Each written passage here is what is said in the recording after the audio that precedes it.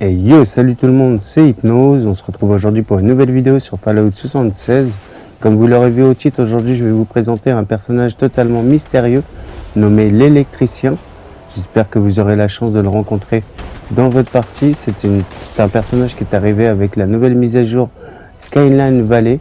Donc que vous pourrez rencontrer aléatoirement dans Skyline Valley. Comme vous pouvez le voir à l'écran, c'est un personnage qui est équipé d'un Tesla qui se bat contre les ennemis qui, l'entourent. Donc euh, souvent, vous le rencontrerez en confrontation avec d'autres créatures ou d'autres ennemis. On dirait une espèce de colon solitaire qui se bat aléatoirement contre des ennemis.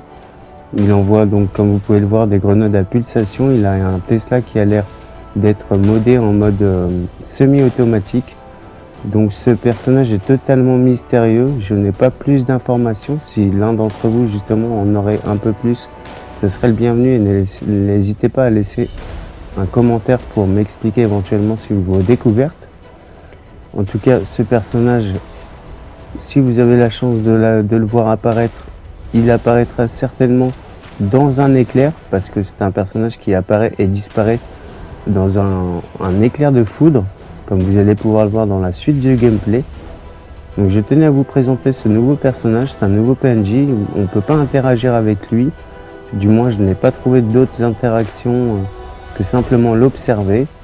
Je ne connais pas son histoire, si certains d'entre vous connaissent un peu plus sur son histoire, n'hésitez pas une fois de plus à laisser un commentaire et comme vous allez pouvoir le voir, il va disparaître dans un éclair. C'est souvent comme ça qu'il disparaît et qu'il apparaît quand vous le rencontrez. On arrive à la fin de cette vidéo, j'espère que ça vous aura permis de découvrir une nouvelle chose que vous ne connaissiez pas sur la nouvelle mise à jour de Skyline Valley. Nous on se retrouve très bientôt pour de prochaines vidéos. Ciao bye